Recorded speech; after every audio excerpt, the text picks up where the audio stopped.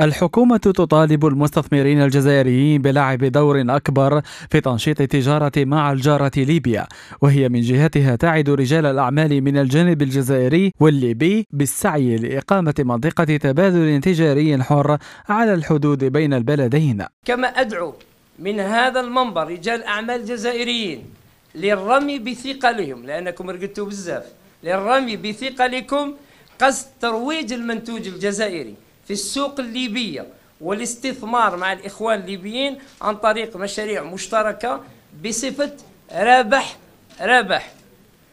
وزارة التجارة الحالية ضمن مشروعها وضمن استراتيجيتها مع الإخوة ليبيا تعتزم إنشاء مركز معارض بكل من واتسوف وبكل من إليزي ومنطقة حرة مع بلد ليبيا من أجل إعطاء ديناميكية كبيرة نظرا للأهمية الكبيرة التي توليها حكومتنا لتطوير العلاقات التجارية والاقتصادية بين البلدين. ما يهمنا أن ترجع الأمن والاستقرار إلى ليبيا ثم أن نطور العلاقات الجزائرية الليبية الاقتصادية أن تصبح علاقات استراتيجية قوية في هذه المنطقة.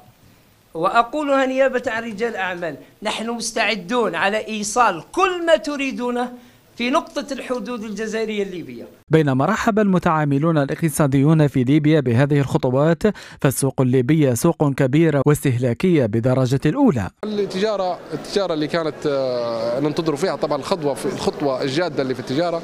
طبعا اليوم وبادر بها وزير التجارة نشكره ونحترمه جدا على كلامه الطيب اللي قاله في في فتح التجارة وخطوط الإمداد بين ليبيا والجزائر اللي تساعد في رفع من مستوى التجارة الجزائرية والليبية.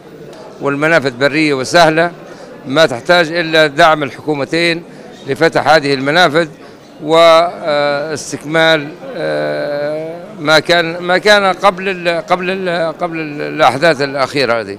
ومنذ سنوات تراجعت المبادلات التجارية بين الجزائر وليبيا إلى مستويات منخفضة جدا حسب غرفة التجارة والصناعة. نظرا للأزمة الأمنية التي ألمت بهذا البلد الشقيق وسيتعرف المتعاملون الليبيون على المصانع في الجزائر لدراسة طلب منتجات منها.